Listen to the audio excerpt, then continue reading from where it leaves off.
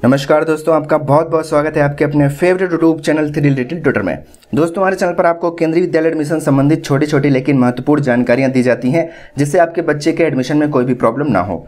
दोस्तों, आज की इस वीडियो में हम बात करेंगे एम पी कोटा लिस्ट के डेट के बारे में और कैसे आपको एम पी कोटा लिस्ट को चेक करना है कि आपके बच्चे का नाम आया या नहीं। उसके बाद अगर आपके बच्चे का नाम आ जाता है एम पी या एच कोटा के लिस्ट के थ्रू तो आपको क्या क्या डॉक्यूमेंट लगाने होते हैं एडमिशन के टाइम पर। इस पर हम स्टेप बाय स्टेप और पूरी डिटेल जानकारी आप इस वीडियो में आपको देने वाले हैं। तो दोस्तों, आपसे रिक्वेस्ट है कि वीडियो को स्किप मत करिएगा, वीडियो को पूरा देखिएगा अदरवाइज़ हो सकता है कि कोई इंपॉर्टेंट पॉइंट आपसे मिस हो जाएगा। और दोस्तों, आपसे एक रिक्वेस्ट है कि बहुत सारे हमारे व्यूवर्स हमारे चैनल को देखते हैं, लेकिन सब्सक्राइब नहीं करते हैं तो प्लीज़ आप सब्सक्राइब कर लीजिए, घंटी वाला निशान ज़रूर दबाइएगा, ताकि टाइम टू टाइम आपको लेटेस्ट नोटिफिकेशन मिलती रहे।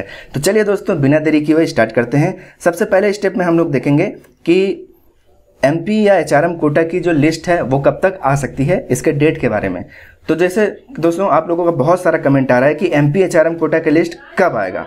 चूँकि एम पी एच कोटा कोई फिक्स डेट नहीं होती है। दोस्तों, केंद्रीय विद्यालय संगठन का जो ऑफिशियल शेड्यूल है, उसमें भी आप देखे होंगे कि उसमें एम पी एच कोटा के लिए कोई भी शेड्यूल नहीं है, कोई भी डेट उन्होंने नहीं बताया कि किस डेट को M P H quota list आएगी। परंतु जैसा कि रिवाइज शेड्यूल में सभी एडमिशन की लास्ट डेट इकतीस अगस्त दो हज़ार इक्कीस दिया है, अतः एम पी कोटा का एडमिशन भी इकतीस अगस्त 2021 तक ही होना है। इस तरह हम कह सकते हैं कि एमपीएचआरएम कोटा की लिस्ट जुलाई के आखिरी सप्ताह से आना शुरू हो सकती है। एम पी कोटा की लिस्ट हमेशा समान एडमिशन होने के बाद ही आती है। जैसे कि अभी जो जनरल एडमिशन चल रहे हैं, जो ऑनलाइन एप्लीकेशन फॉर्म वगैरह भर के चलते हैं, होते हैं जो एडमिशन उसकी, उस, वो जब एडमिशन फाइनल हो जाएगा, उसके बाद जो एम पी एच कोटा की लिस्ट आती है, वो आती है। तो दोस्तों, इससे आपको एक अंदाज़ा लग गया होगा कि इकतीस अगस्त 2000 के पहले पहले यानी कि जुलाई के आखिरी सप्ताह तक जो एम पी कोटा की लिस्ट है, वो आ सकती है। दोस्तों, हमारा जो दूसरा स्टेप है, दूसरे स्टेप में हम लोग ये देखेंगे कि हाउ टू चेक लिस्ट मतलब कि M P H R M quota की जो लिस्ट है,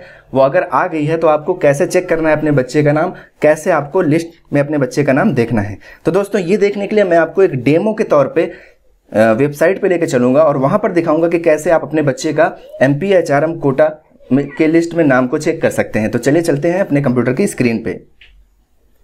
दोस्तों एमपी या एचआरएम कोटा लिस्ट चेक करने के दो तरीके हैं। पहला तरीका है कि आप केंद्रीय विद्यालय संगठन की ऑफिशियल वेबसाइट पर जाकर चेक कर सकते हैं, जो K V Sangathan dot N I C dot in है।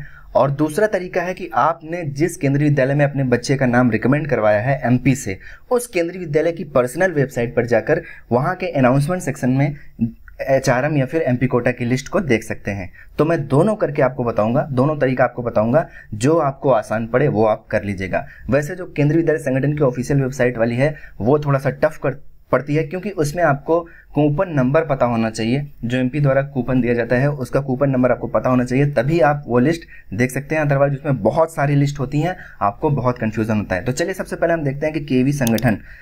तो यहाँ पर आपको लिखना है केवी संगठन। आपको इस पर क्लिक करना है। उसके बाद आपको जाना है केंद्रीय विद्यालय संगठन वाली वेबसाइट पे। तो दोस्तों, जैसे ही आप केंद्रीय विद्यालय संगठन की वेबसाइट पर जाते हैं तो आपके सामने होम पेज खोल के आ जाता है। दोस्तों, थोड़ा सा नेट स्लो होने की वजह से टाइम लग रहा है तो इस तरीके से होम पेज खुल के आ जाएगा। उसके बाद आपको जाना है एकेडमिक्स में। उसके बाद आप देख सकते हैं, यहाँ पर लिखा हुआ है एडमिशन अंडर एमपी कोटा। दोस्तों, आप देख सकते हैं, यहाँ पर लिखा हुआ है एडमिशन अंडर एमपी कोटा। यहाँ पर आप देख सकते हैं कि लोकसभा ऑर्डर लेटर अगर आपने लोकसभा के एमपी से रिकमेंड करवाया अपने बच्चे का तो यहाँ पर लेटर आया होगा। तो आप यहाँ पर क्लिक करिए। यहाँ पर आप देख सकते हैं कि ये लोकसभा के, ये लोकसभा के जो एमपी हैं admission under MP Lok Sabha order letter यहाँ पर आप देख सकते हैं, ये कूपन नंबर से यहाँ पर बहुत सारे आए हैं। तो दोस्तों, आप देख सकते हैं यहाँ पर और कुछ इन्फॉर्मेशन नहीं दी हुई है, सिर्फ़ कूपन नंबर दिया हुआ है।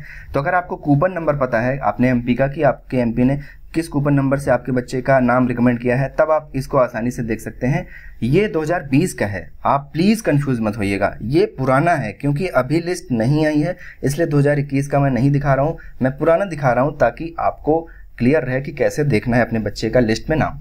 तो ये लोकसभा एमपी कोटा लोकसभा का ये ऑर्डर लेटर है, इनमें से मान लीजिए एग्ज़ाम्पल के तौर पर आपका जो एमपी का कूपन नंबर है, वो कूपन नंबर तेईस है। कूपन नंबर तेईस है तो आपको यहाँ से डाउनलोड कर लेना है। जैसे ये डाउनलोड हो जाएगा, आपके सामने एक लेटर खुल के आ जाएगा। तो यहाँ पर आप देखेंगे कि सांसद का नाम लिखा है। ये पुराना है दोस्तों, मैं फिर से आपको एक बार याद दिला दूँ। यहाँ पर लिखा है, सांसद संस्तुति पर प्रवेश आदेश मतलब सांसद के रिकमेंडेशन पर एडमिशन का ऑर्डर है। तो माननीय सांसद, ये जो सांसद है, उनका नाम यहाँ पर दिया हुआ है। तो उन्होंने, देखिए, यहाँ पर दस बच्चों का नाम रिकमेंड किया है। ये इनका इनका इनका इनका इनका इनका इनका इनका इनका। तो दोस्तों, आप देख सकते हैं कि इन्होंने किस किस क्लास के लिए रिकमेंड किया है और किन किन के में इनका नाम रिकमेंड किया है। इस तरीके से आप देख सकते हैं। और यहाँ पर इन्होंने जिसका रिकमेंड किया है, ये इनका एडमिशन नहीं हो पाया क्योंकि इन्होंने ऐसी क्लास के लिए रिक्वेस्ट किया था जो कि वैलिड नहीं है एमपी कोटा के अंतर्गत। तो दोस्तों, इस तरीके से आप देख सकते हैं, लिस्ट में नाम चेक कर सकते हैं। तो ये बात हो गई एमपी कोटा लोकसभा की। और इसी तरीके से अगर आपको एमपी कोटा राज्यसभा का देखना है, अगर आप राज्यसभा के एमपी से जो है रिकमेंड कराए हैं तो आप यहाँ पर देख सकते हैं, यहाँ पर भी कूपन नंबर कई सारे दिए हुए हैं, इसके लिए भी आपको कूपन नंबर पता होना चाहिए। तो सपोज़ दैट एग्ज़ाम्पल के तौर पर कूपन नंबर 914 है, मान लेते हैं तो यहाँ पर आप क्लिक करिए। दोस्तों ये पुराना है 2020 का है क्योंकि 2021 का भी आया नहीं है। मैं डेमो के तौर पे आपको दिखा रहा हूँ कि कैसे आपको अपने बच्चे का नाम लिस्ट में चेक करना है। तो आप देख सकते हैं यहाँ पर आ, अमन मिश्रा गित्सा बेरा इस तरीके से उनका फादर का नाम कॉन्टैक्ट नंबर क्लास और कौन से केवी में उनको रिकमेंड किया गया है के का नाम इस तरीके से आता है। और आगे यहाँ पर इंस्ट्रक्शंस लिखे होते हैं विद्यार्थी अथवा केंद्रीय विद्यालय संगठन के वर्तमान प्रवेश दिशा निर्देश का दो हज़ार इक्कीस के अनुसार पात्र होना चाहिए। यानी कि जो भी एलिजिबिलिटी क्राइटेरिया है, उसके हिसाब से भी जो स्टूडेंट है वो एलिजिबल होना चाहिए केंद्रीय में एडमिशन के लिए। और यहाँ पर आप देख सकते हैं कि 31 अगस्त 2020 लास्ट डेट थी पिछली बार, ठीक है? एडमिशन की एमपी कोटा के तहत एडमिशन की। तो दोस्तों, इसके पहले पहले जो है एमपी कोटा की लिस्ट है, वो आ जाती है। पिछले के हिसाब से देखें, तब भी आपको ये देखने में लग सकता है। तो दोस्तों, ये हो गया कि आप केंद्रीय विद्यालय संगठन की वेबसाइट से कैसे चेक करेंगे। अब इसके लिए तो सबसे बड़ा चैलेंजिंग ये है कि आपको कूपन नंबर पता होना चाहिए। तो बहुत सारे पेरेंट्स को कूपन नंबर नहीं पता होता है। तो अब अगर आपको कूपन नंबर नहीं पता है, तब आप कैसे अपने बच्चे का M P quota list check करेंगे? इसके लिए मैं सबसे आसान तरीका बताता हूँ। आपको सिर्फ़ यहाँ पर उस केंद्रीय विद्यालय का नाम सर्च करना है, जिसमें आपने अपने एमपी से अपने बच्चे का एडमिशन रिकमेंड करवाया है। उस केंद्रीय विद्यालय का नाम सर्च करना है। एग्ज़ाम्पल के तौर पर मैं यहाँ पर के दुर्ग लेता हूँ। के दुर्ग जो है वो छत्तीसगढ़ स्टेट में पड़ता है। तो आप अपना के सर्च करिएगा। जिस भी के में आपने एमपी से रिकमेंड करवाया एडमिशन के लिए अपने बच्चे का नाम, वो केंद्रीय विद्यालय सर्च करिएगा। उसके बाद आप केंद्रीय विद्यालय की पर्सनल वेबसाइट पर पहुँच जाएँगे। इस वेबसाइट में और उस वेबसाइट में अंतर है। वो केंद्रीय विद्यालय संगठन की वेबसाइट थी। ये पर्टिकुलर केंद्रीय विद्यालय स्कूल की वेबसाइट है। इनकी जो लोकसभा कॉन्स्टिट्यूएंसी है, ये दुर्ग है। ऐसे ही आप अपना देख लीजिएगा कि आपका जो लोकसभा कॉन्स्टिट्यूएंसी है, वहाँ पर क्या दिखा रहा है। उसके बाद आपको आना है नीचे। आप आएँगे अनाउंसमेंट वाले सेक्शन में। तो अनाउंसमेंट में लेटेस्ट में ही दिखाएगा आपका। यहीं पे आपका शो होने लगेगा कि एमपी कोटा एचआरएम कोटा, मैं पिछले साल का आपको दिखा देता हूँ, क्योंकि इस साल का भी आया नहीं है। तो हम नेक्स्ट करके जाते हैं पिछले साल में। तो आप यहाँ पर क्लियरली देख सकते हैं, लिखा है दुर्ग एचआरएम ये दुर्ग केंद्रीय विद्यालय में एचआरएम कोटा की लिस्ट है। एचआरएम दुर्ग ये भी दुर्ग केंद्रीय विद्यालय में एचआरएम कोटा की लिस्ट है। MP quota order letter against coupon number 733 ये एमपी कोटा की लिस्ट है। और एमपी कोटा कूपन नंबर 84 ये भी एमपी कोटा की लिस्ट है। और दुर्ग एच कोटा, ये भी आपका एचआरएम कोटा की लिस्ट है। तो दोस्तों, ये पिछले साल का है। मैं एक बार फिर से आपको याद दिला दूँ। आप देख सकते हैं यहाँ पर डेट पड़ी हुई है, उनतीस आठ दो मैं डेमो के तौर पे इसको दिखा रहा हूँ कि आपको कैसे देखना है। तो आप देख सकते हैं कि यहाँ पर आपको आसानी से मिल जाता है। उसी केंद्रीय विद्यालय में जहाँ पर आपने अपने बच्चे के एडमिशन के लिए एमपी से रिकमेंड करवाया है तो आप यहाँ पर जाकर, चाहे अगर आपने एचआरएम से करवाया है रिकमेंड मान लीजिए केंद्रीय विद्यालय दुर्ग के लिए तो आप यहाँ पर डाउनलोड करके देख सकते हैं। और अगर आपने एमपी से रिकमेंड करवाया है तो आप यहाँ पर डाउनलोड करके देख सकते हैं। इसमें अपने बच्चे का नाम चेक कर सकते हैं कि एमपी ने आपके बच्चे का नाम रिकमेंड किया है या नहीं, आपके बच्चे का एडमिशन हो पाएगा या नहीं हो पाएगा। तो दोस्तों, यहाँ पर देख सकते हैं कि इन एमपी ने, जो भी एमपी का नाम है, इन्होंने इस कूपन के माध्यम से दस बच्चों का नाम जो है इन्होंने रिकमेंड किया था। उनके फादर का नाम यहाँ पर किस क्लास के लिए और कौन से केंद्रीय विद्यालय के लिए रिकमेंड किया है?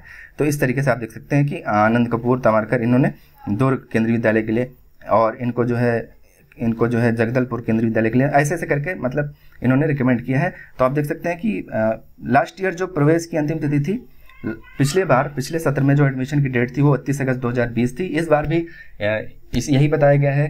केंद्रीय विद्यालय का जो ऑफिशियल शेड्यूल है, उसमें यही बताया गया है कि भैया जो लास्ट डेट है सभी एडमिशन्स की, वो 31 अगस्त 2021 है। तो मुझे आशा है कि जुलाई के अंतिम सप्ताह या 15 जुलाई 10 जुलाई के आसपास तक जो एमपी कोटा और चारम कोटा की लिस्ट है, वो आ सकती है। तो दोस्तों, इस तरीके से आप अपने बच्चे का एमपी कोटा या एच कोटा में नाम देख सकते हैं। दोस्तों, यहाँ तक तो बात हो गई कि एम पी एच कोटा की लिस्ट कब तक आएगी और दूसरे स्टेप में आपने देखा कि कैसे आपको लिस्ट चेक करना है। यानी लिस्ट में कैसे आपको अपने बच्चे का नाम चेक करना है। मैंने दो तरीका बताया, दोनों अलग अलग हैं। जो आपको सही पड़े, आप उस हिसाब से अपने बच्चे का लिस्ट में नाम चेक कर सकते हैं। अब हमारा अगला स्टेप है, जिसमें मैं आपको बताने वाला हूँ कि अगर आपके बच्चे का M P H R M quota के तहत एडमिशन होता है तो कौन कौन से इंपॉर्टेंट डॉक्यूमेंट्स आपको एडमिशन के टाइम पे सबमिट करने होते हैं। दोस्तों, वैसे तो यहाँ पर एक इंपॉर्टेंट बात लिखी होती है कि अगर एमपी द्वारा आपके बच्चे का एडमिशन रिकमेंड कर दिया जाता है तो आपके बच्चे का एडमिशन हो जाएगा। लेकिन, दोस्तों, यहाँ पर केंद्रीय विद्यालय संगठन द्वारा एक बात और कही जाती है कि आपका बच्चा केंद्रीय विद्यालय का जो गाइडलाइन है, उसके हिसाब से एलिजिबल होना चाहिए। तो दोस्तों, आपकी जो कैटेगरी है, जैसे कि मान लीजिए आप एससी कैटेगरी से हैं, ठीक, आप जो है एसटी हैं ओबीसी हैं तो आपको कास्ट सर्टिफिकेट देना ही होता है। क्योंकि अगर आप कास्ट सर्टिफिकेट नहीं देते हैं तो आपके बच्चे का एडमिशन तो हो जाएगा, लेकिन फिर आपको कास्ट का जो बेनिफिट मिलता है रिजर्वेशन बेनिफिट मिलता है, वो फिर कंसिडर नहीं किया जा सकता। हो सकता है कि आपको फिर general as a general treat किया जाए तो ये आपके लिए सही नहीं है। तो आप जितने भी तरह की एलिजिबिलिटी आप फुलफिल करते हैं, वो सारे डॉक्यूमेंट्स आप दे दें। बर्थ सर्टिफिकेट लगेगा ही, उसके बाद जो है अगर इनकम है, अगर आप लो इनकम ग्रुप से हैं तो इनकम सर्टिफिकेट भी लग सकता है। उसके बाद आपको एड्रेस प्रूफ देना ही होगा। बच्चे का ब्लड ग्रुप देना ही होता है। माता पिता का आइडेंटिटी के तौर पे कुछ ना कुछ डॉक्यूमेंट्स देने ही होते हैं। तो दोस्तों, जो एक जर्नल एडमिशन में जितने डॉक्यूमेंट्स लगते हैं, वो सारे डॉक्यूमेंट आपके एमपी कोटा के थ्रू जो एडमिशन होता है, उसमें भी लगते हैं। क्योंकि स्कूल में केंद्रीय विद्यालय जब आपके बच्चे का एडमिशन हो जाएगा, भले ही वो एमपी कोटा के थ्रू हुआ हो, लेकिन उसका एक रिकॉर्ड तो मेंटेन किया ही जाता है ना, उसमें बच्चे का।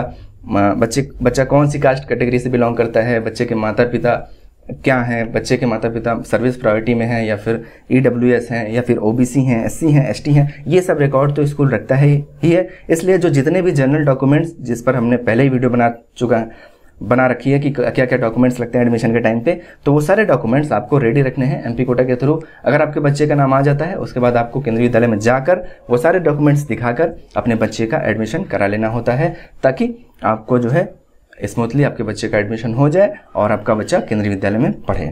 तो दोस्तों, उम्मीद करता हूँ कि ये जानकारी आपके लिए ज़रूर यूज़फुल साबित होगी, खासकर उन लोगों के लिए जिन्होंने अपने बच्चे का नाम रिकमेंड करवाया है एमपी या एचआरएम कोटा के थ्रू तो दोस्तों, इस तरह के वीडियो हम टाइम टू टाइम लाते रहते हैं, थोड़ी मेहनत करके बनाते भी हैं, थोड़ा टाइम भी लगता है। तो दोस्तों, आप अगर एक छोटी सी लाइक कर देते हैं तो हमें और भी ज़्यादा मनोबल मिलता है कि हम इस तरीके से वीडियो जो है ढूंढ ढूंढ कर छोटे छोटे टॉपिक पर, जो कि बहुत ही रेयरली मिलते हैं, इस पर हम वीडियो लाते रहें।